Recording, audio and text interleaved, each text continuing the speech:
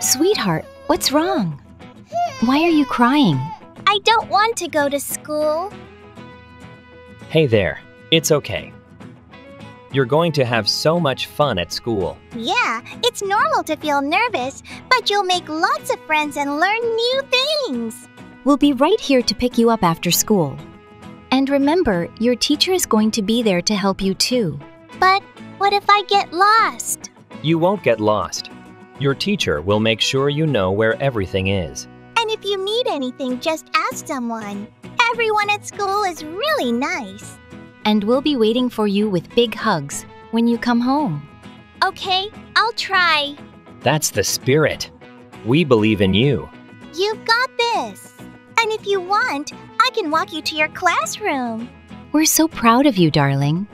It's going to be a great day. Okay, I'll go to school. But I'll miss you all. We'll miss you too, but we'll see you soon. Now, let's get your backpack ready. And don't forget your favorite snack for recess. You're going to have such a wonderful time. Off to new adventures. Okay, I'm ready.